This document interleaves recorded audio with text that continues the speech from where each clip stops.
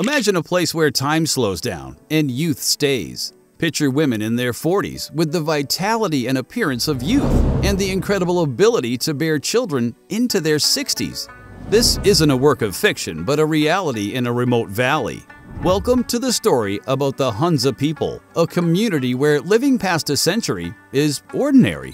Join us as we dive into the secret tale behind their remarkable longevity reminiscent of biblical figures like Adam, Noah, and Methuselah. Subscribe to our channel to explore more such fascinating tales. Now let's get started. In the 1970s, National Geographic spotlighted the Hunza, a people hidden in a breathtaking valley surrounded by gigantic mountains.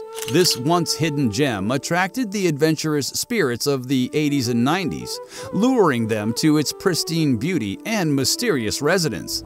The Hunza, a blend of six tribes, have elegantly mixed tradition with the modern world. But it's not just their unique lifestyle that's captivating, it's the mystery of their health and youthfulness. While their exact lifespan remains unconfirmed, many believe they often surpass the century mark, maintaining a youthful vigor and avoiding illnesses that plague others around the world. But could their secret really be that simple? Well, it's extremely effective, we can all agree on that. It is believed that the Hunza's diet is the basis of this longevity, for their health is as pure as the mountain air. They feast on a variety of fresh fruits like apples, pears, peaches, apricots, and cherries of all hues. They cherish apricot kernels for their alleged health benefits. The Hunza's plate is a wide mixture of raw vegetables, spinach, lettuce, carrots, peas, turnips, squash, and an assortment of herbs and sprouted legumes. Their grains are as unrefined as their lifestyle, with whole wheat, barley, buckwheat, and millet ground on stone mills, preserving every bit of their natural goodness. Nuts, an essential staple in their diet, include walnuts, almonds, pecans, and hazelnuts, all rich in proteins and healthy fats. But what catches the eye is the richness in the essential vitamins, minerals, and antioxidants, especially vitamin B17 that derives from apricot kernels. Thanks to this medical blessing, it is credited for the Hunza's vigorous immunity and low disease rates.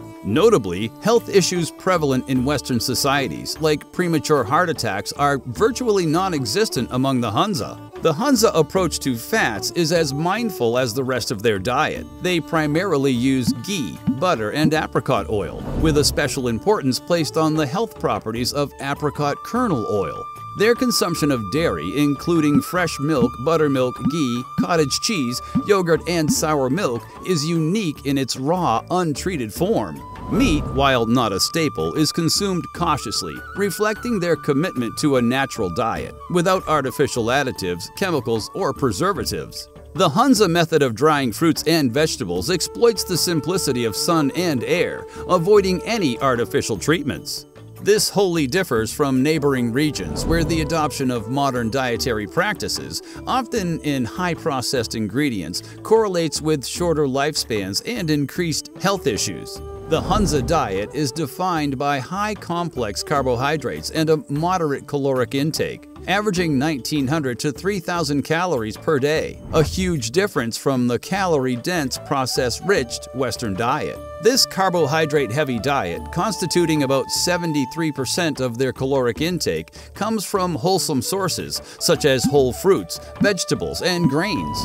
Protein intake is modest, sourced mainly from plants, and their diet is enriched with probiotic foods like kefir and fermented vegetables. Fish appears occasionally, sometimes only monthly. The absence of refined sugars in their diet is outstanding, with natural sources like fruits, vegetables, and whole grains being the primary contributors.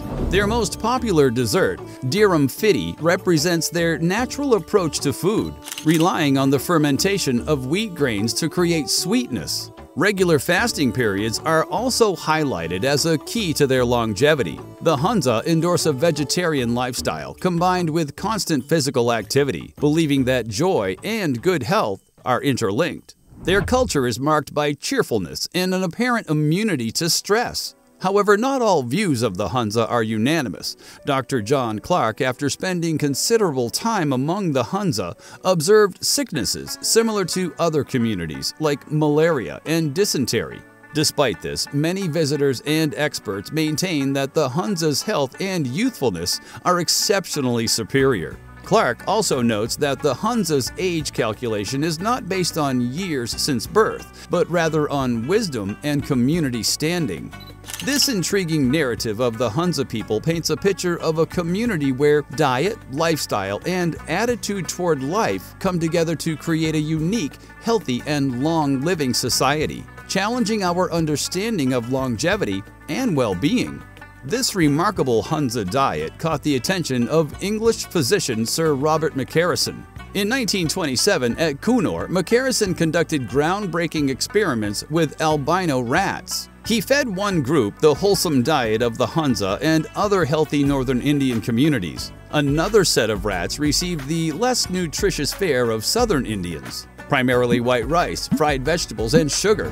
The third group was subjected to the diet common among England's lower classes white bread, margarine, sweet tea, limited to boiled milk, cabbage, potatoes, canned meats, and jam. The outcome was astounding. The Hunza-fed rats thrived with no illness, no natural deaths among adults, and minimal infant mortality. On the other hand, the other groups suffered from various illnesses affecting every major organ, alongside hair loss, spinal deformities, poor dental health, and behavioral issues. In modern times, Dr. Dean Ornish, renowned for his spectrum diet and lifestyle, with a near-perfect success rate in treating heart disease without medication or surgery, advocates a diet similar to the Hunza's. Similarly, Dr. Joel Fuhrman, advocating a plant-based diet, backs the Hunza philosophy, aligning with his research on longevity and health. This strongly relates to food writer Michael Pollan's famed mantra, eat food, mostly plants, not too much. A short and sweet highlight of the Hunza diet's essence and a guide to living a long, healthy life without frequent medical interventions. Geographically, the journey to Hunza is as enriching as the destination itself. Situated about 500 kilometers from Islamabad, the journey by car takes two days, crossing beautiful mountain terrains and offering a glimpse into a world untouched by modernity. En route, one encounters scenes of traditional agriculture, people plowing fields with oxen, exhibiting the absence of mechanization in this primarily agricultural land. Small stores dot the roadside, their wide open doors displaying basic necessities, while shopkeepers sit cross-legged awaiting customers. This route is a living showcase of daily life, winding northwards into snake-like roads that lead into majestic mountains, offering breathtaking landscapes untouched by human hands. Waterfalls and scenic vistas accompany travelers on this road, each turn revealing the raw beauty of this land. If you liked the video, don't forget to hit the like button and subscribe to our channel for more amazing content. Continuing our exploration, the Hunza's endurance is further shown by their bathing habits. Imagine dipping yourself in icy waters when the temperatures plummet to 15 degrees below zero. This practice, along with their physically demanding lifestyle, may contribute significantly to their health. The Hunza navigate steep, rugged terrains daily, on foot, tending to their fields and engaging in various outdoor activities. This not only strengthens their cardiovascular health, but it also ensures strong muscle strength. Their villages, some over a millennium old, cling to cliffsides, accessible only through narrow winding paths. The daily journey to their fields is an expedition in itself. In spring, Hunza men can often be seen utilizing the fresh mountain streams for their morning wash.